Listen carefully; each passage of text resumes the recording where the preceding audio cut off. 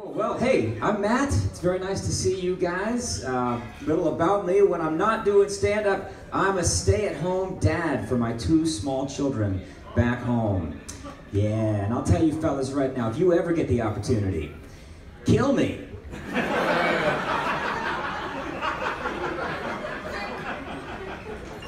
Okay, I'll wait till after the show. That's okay. Actually, I'm in no rush. In fact, I need at least a week to finalize the insurance policy. So don't kill me tonight.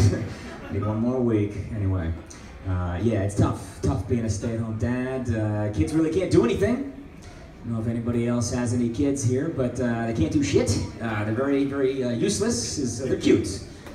They're adorable. They're very, very cute. That's about it. Took my three-year-old a full year just to learn how to walk.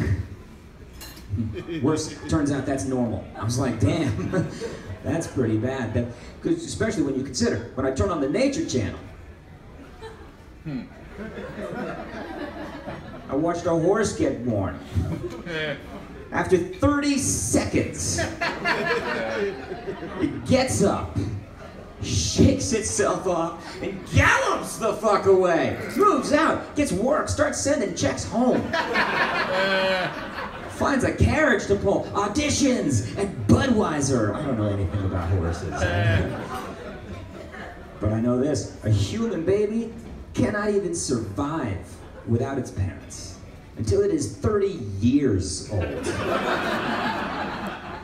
So, anyway, it's gonna be a long haul. guys. I got a, I got a three-year-old, I got a four-month-old now that I'm taking care of. I'm the primary caretaker of a four-month-old baby. So pass the cocaine, as I like to say. Ah, shit. I'm not sleeping too well. If you have any blow, just toss it on up. People don't get it. You know, a friend of mine was like, I feel fantastic, Matt. I slept like a baby last night. I was like, really? In 20 minute increments? You dick? Rubbing it in? You feel fantastic? Anyway, I do say, uh, you know, there's, there's some upsides, you know, some surprises, a lot of surprises. Uh, like, uh, I carried a kid around, a four month old, put him in the pouch, walk around with him uh, all throughout the city. You know what happens? All the single women just walk up and talk to me. Oh, this is a hell of a time for that to start happening. Thank you, ladies. Thank you very much. I should have had a baby in high school. You know what I mean? Things weren't working out for me too well in high school. I, uh, you know, I looked a lot like I look now. I, it's like the scrawny ass results of a one night stand between Conan O'Brien and Doogie Howser.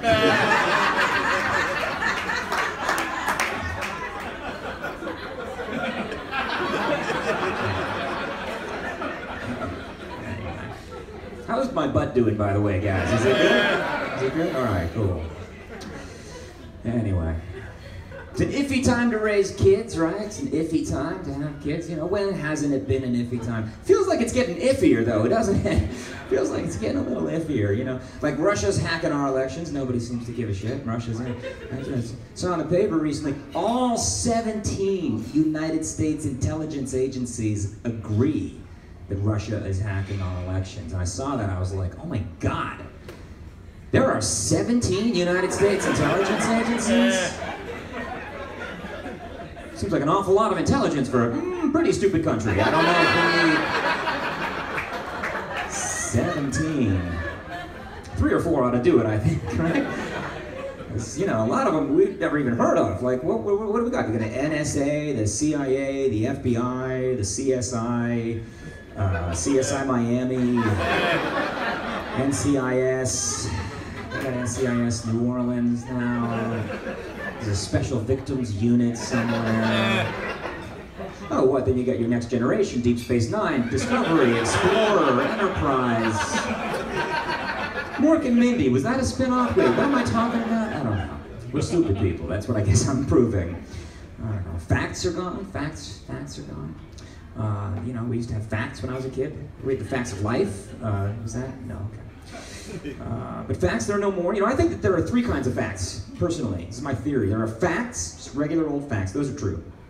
And then there are alternative facts, which are false. And then there are fun facts. And those are my favorite. Right. Hell yeah. You know why? Nobody verifies fun facts. Nobody cares. Nobody cares at all about fun facts. And I know that because I am also, on the weekends, part-time tour guide on the National Mall, and I am full of fun facts, guys. I'll tell you right now. Oh, hell yeah.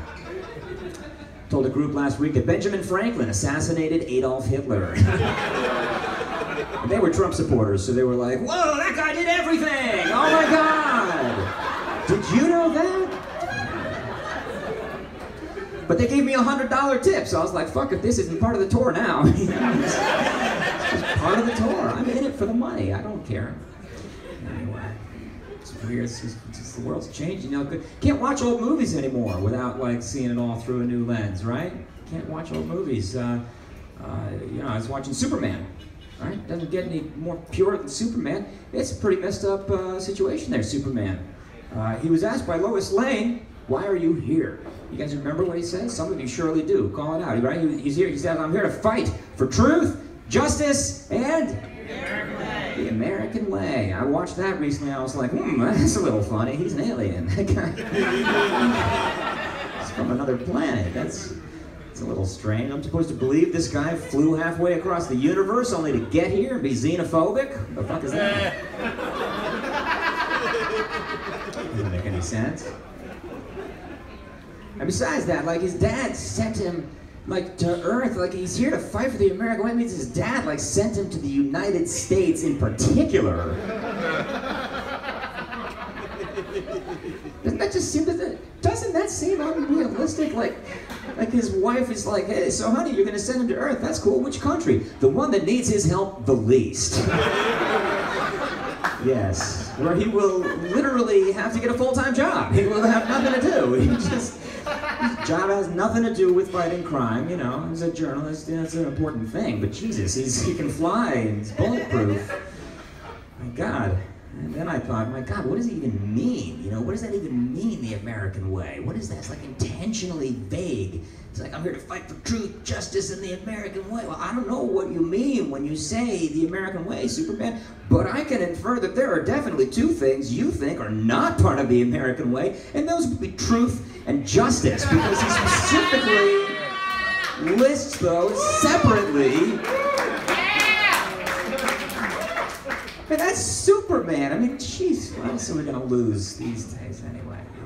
And his dad, Jor-El, you guys remember Jor-El? His dad, why did he send him to Earth in the first place? Because of climate change on Krypton. Jesus. What rotten luck. You'd think that'd be the first thing that he'd be looking out for when he got here. Like, okay, how's the climate? Is the climate okay? Is the climate all right? My dad was a climate scientist and senator. His dad was. His dad, Jor-El was his name. They invented this character in the 1930s.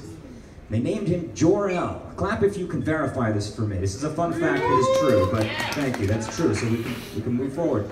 Uh, yeah, they created this character in the 30s, named him Jor-El. Jor-El, it's a hyphenated name, and he's a climate scientist, and he's a senator on Krypton. Can't convince the Kryptonian Senate to take action. His name is Jor-El. Jor-El. Gore-Al. Gore-Al. How did they do that?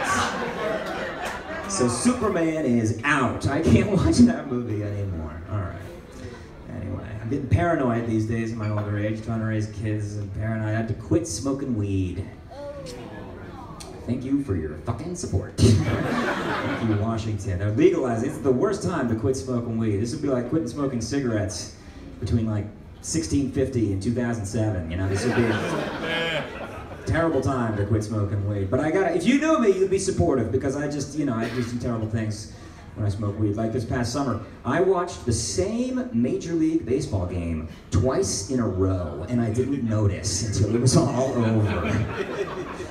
Shouldn't be possible, folks. No. Uh, at first I was excited. I was like, oh damn, that's the same guy that hit the big game-winning home run in the first game of this doubleheader. Did you see that kid? Damn, that's, my goodness, off the same pitcher. What an asshole he must feel like right now.